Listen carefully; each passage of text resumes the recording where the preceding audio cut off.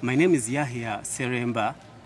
I'm the founder as well as the executive editor of the Campus Journal. The Campus Journal started as a student publication targeting university students throughout Uganda. But later on, we found it wise to, uh, to incorporate into the Campus Journal wider issues such as national politics and even international affairs. There is no doubt that the Campus Journal remains the only publication that is bold enough to expose tyranny in its worst form, to expose oppression, to expose exploitation. The media in Uganda has been intimidated. Most of the media, including the so-called independent media, cannot uh, write a, story that is very critical of the current establishment, of President Museveni's family, of, of, of the powerful politician. This is not the case with the Campus Journal.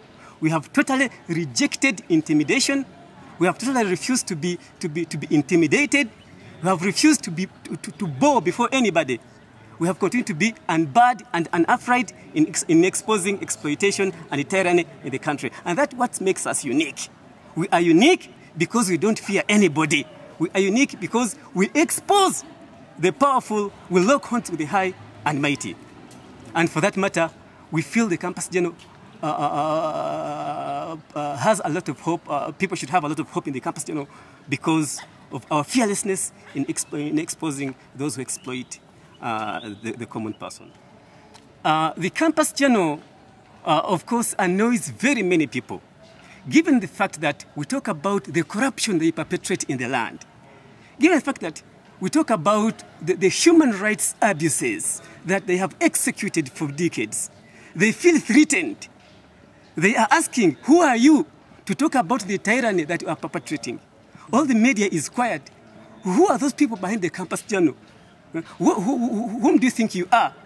All people are silent. All the media is, is, is intimidated. Why do you come out bravely to, to, to, to, to, to, to, to expose tyranny? So for that matter, they feel that uh, they are threatened. We are exposing them to the public. We are exposing them, them to the world. We are exposing their exploitation. And they are not, they are not happy at all with, with the kind of work we are, we are doing. They have sent us anonymous email. They have uh, called us, uh, trying to intimidate us, uh, threatening us. But again, we have continued and unbarred and unafraid. Uh, we feel we are not intimidated at all. We shall continue even if it means losing our life. As you can see here, we risk our lives to let you know. We are not unaware of the danger that we are facing. We are very much aware that doing this job is risky. We know that anytime they can take our lives. We know that they, they, they can send us to jail. Eh? We know that they can cause any harm to us. But again, if we don't speak out, who will be left to speak out? For the, for, for, for the voiceless. We must speak out now even if it means uh, putting our own lives in danger. We must speak out if tyranny is to stop. There are so many people. In the, in, in the campus journal, the current issue of July, uh, of June, July 2011, we have categorized seven groups of people that President Museveni has tormented since he set foot in power. And the first group, these are the people of northern Uganda. These people have suffered oppression at the hands of the LRA rebels but most painfully at the hands of government forces. These people, we must speak for them if their suffering is to end. The second category uh, is about the people of Eastern Congo. President Museveni's tyranny has even crossed borders to oppress the Congolese, to kill innocent Congolese people in the name of pursuing ADF rebels. But as, as, as, as various UN reports have documented, the UPDF, Museveni's soldiers, have actually been killing innocent people and even committing genocide in the neighboring country. So these people need to be represented in the media. These people need a voice, they need to be heard. For that matter, we are coming out of the campus journal to speak for them. But they are not the only people who have suffered Museveni's tyranny, as you can see in the campus journal. The third category is about opposition politicians. These people have also been denied their, their, their right to assemble, the, the, the, the, right to carry out mobilization, uh, the right to, to, to, to compete for power in a free and fair election. They have been harassed, they have been oppressed. Uh, FDC leader Kizza Besigye has been beaten, has been kicked, has been sent to jail illegally. His people have been imprisoned without bail. Uh, you, you've heard that President Museveni wants to introduce a bill in Parliament that would deny uh, suspects of, of, of rioting bail. All these measures are meant to curtail freedom of, of association, um, freedom of competing for power uh, without intimidation. So we feel all these people deserve to be heard. We must speak for them. If there is no any other media left to speak for them, then we feel should come out and take on that responsibility. Uh, when we published our, our, our, uh, one of our issues, uh, we, talked about the, the, the tyranny that is perpetrated in the neighboring country by President Paul Kagame. There is no doubt that Mr. Kagame has done a lot of good things in terms of developing the country economically.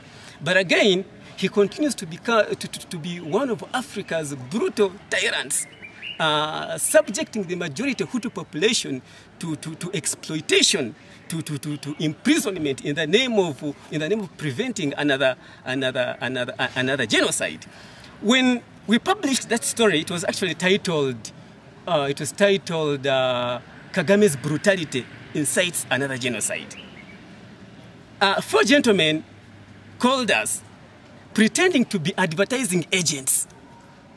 They came to us, they, they first called us, they said that we want, we want to meet you. That's why I, I, probably didn't take it to my office. I wanted to first establish whether you are really uh, genuine researchers because of the past experience I had with uh, supposedly Kagame agents. Uh, they called us and we agreed to meet at our office. Uh, but again, we were suspicious.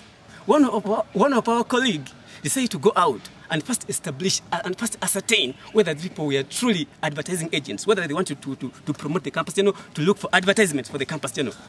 But again, we discovered that, uh, that whereas they were four, the three of them were hiding. They were not coming out openly. So we became suspicious. We switched off our phones. Unfortunately, they had known where our office is. Uh, uh, they decided to come, come inside, and, to, and spoke to the secretary, asking, where, where is Yahya? And where is Musa? My colleague is called, is called Musa. Fortunately, we had used uh, the door behind to do what? To, to, to, to, to, to, to flee. So they asked the secretary uh, that, whom do you think they are? Do they think that they, they can hide away from us? Eh? What kind of stuff are they writing? Eh? So they were very bitter with our secretary uh, until they eventually decided to, what, decided to go. So we felt that these people must have been Kagame's agents. And if anything, they also have ties with President Museveni. Because judging from their looks, they look to be Banyarwanda from Rwanda. So we, we, we, concluded from that that they could be Kagame's agents. But again, we can't rule out the fact that they are also Museveni's agents. So for that matter, the campus journal, we feel we are threatened. But again, we cannot give up. We shall have to continue exposing tyranny until the people are liberated. Atrocities committed by Kony, uh, uh, uh, these are not the only atrocities committed on the people of northern Uganda. The mm. UPDF has also committed some atrocities. Uh, for instance, uh, when the, when President Museveni wanted to deny the LRA breeding ground in northern Uganda, he decided to forcefully push the people in the north into internally displaced people's camps. In the process, they burnt villages. In the process, they killed people to, to intimidate them and to force them into IDP camps. In IDP camps, uh, the conditions of living were co completely appalling. Children starved and even died. These are some of the malnourished children in the internally displaced people's camps. They starved and died. Government forced them into the camps and it, it did nothing to provide basic conditions for their survival.